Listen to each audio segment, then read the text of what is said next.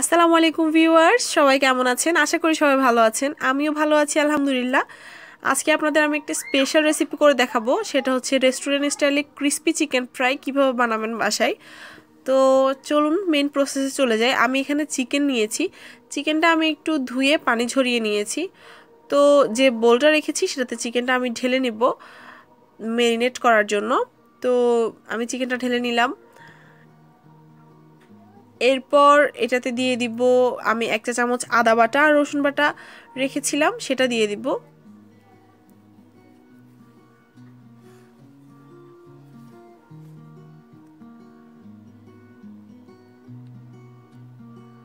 এরপর দিয়ে দিব লেবু রস, দুই চা চামচ পরিমাণ।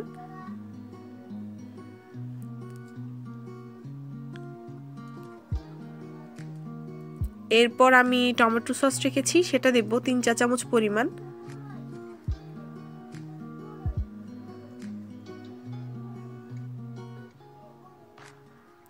এবার আমি সয়া সস দিব। সয়া সস দিব আমি আড়াই চামচ পরিমাণ।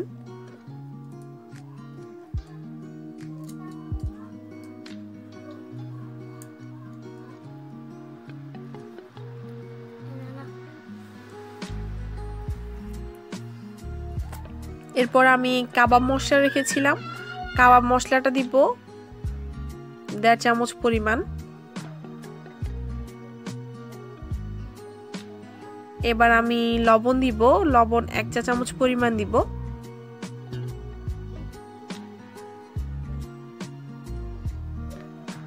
এরপর আমি ফেটানো দই দিব। দইটা দেওয়ার আগে খুব ভালোভাবে ফেটিয়ে নিতে হবে। এবার আমি এগুলো মিক্স করে নিব। চিকেনটা এভাবে কেটে নেবেন, যেখানে একটু বেশি মাংস থাকবে, ওই সাইডটা এভাবে ছুরি দিয়ে হালকা একটু কেটে নিলেই হবে।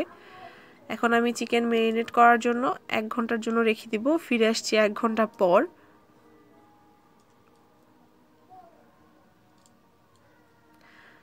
এক ঘণ্টা পর চিকেনটা ম্যারিনেট হয়ে গেছে। এখন আমরা যে উপরের যে লেয়ারটা তৈরি করব, সেটার প্রসেসটা দেখিয়ে দিচ্ছি। তো এটার জন্য প্রথমে নিব ময়দা, সাথে দিব লবণ, দিব তিন চামচ কর্নফ্লাওয়ার, আর আমি গরম মশলার গুঁড়ি দিব তিন চামচ পরিমাণ।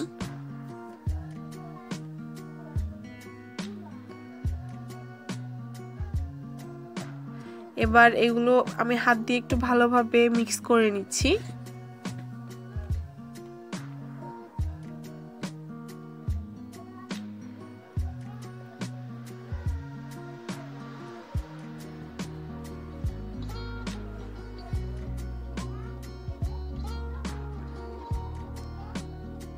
মিক্স হয়ে গেছে। এবার আমি একটা বাটিতে সামান্য পানি নিব।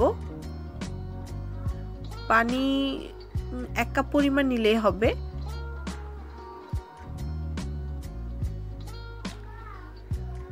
এরপর আমি চিকেন নিব, একটা চিকেন নিয়ে।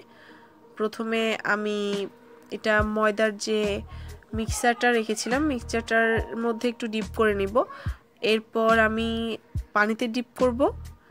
তারপর আবার আমি মিক্সারে ডিপ করব। এভাবে করতে করতে তিনবার করতে হবে। তারপর রেখে দিব। এভাবে আমি সবগুলো করে নিব।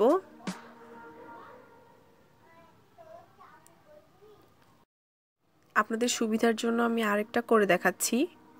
দেখতে পাচ্ছেন?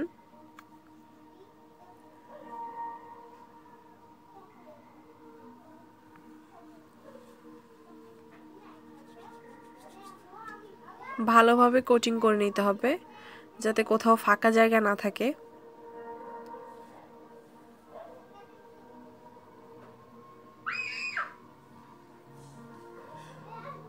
এভাবে সবগুলো করে নিচ্ছি। এবার আমি চুলায় একটা কড়াইয়ের মধ্যে তেল গরম করে নিয়েছি।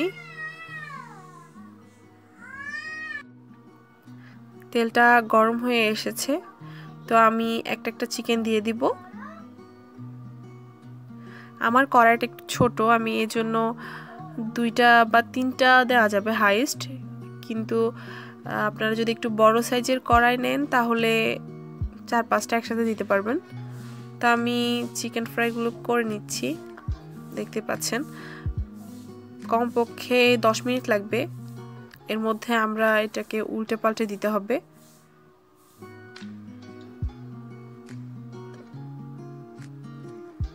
এভাবে উল্টিয়ে দিবেন।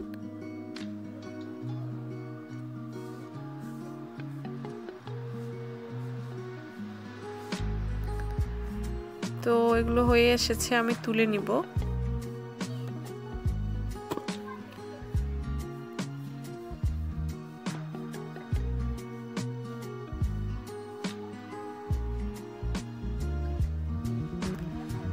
এবার আমি সার্ভ করে দেখাচ্ছি আপনাদেরকে।